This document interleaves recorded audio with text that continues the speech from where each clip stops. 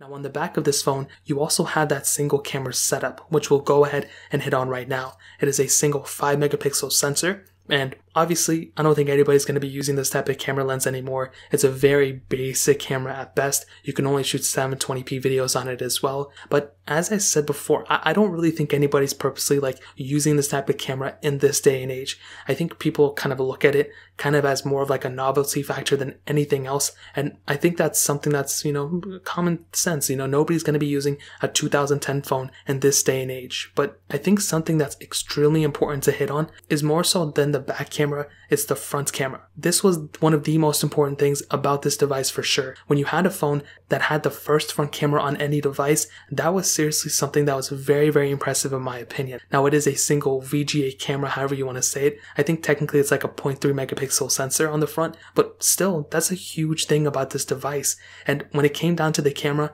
I don't even really care about the quality on this type of phone. It's just the fact that it even has the camera on the front, which is just crazy in and of itself. So for an 11 year old device, the camera quality probably isn't that great, but I still love it. And in terms of the camera, it gets a thumbs up for me in my books, just for the fact of what this camera brought for sure. So, so in terms of the camera setup, that pretty much covers it up. Now moving on to the software side of things,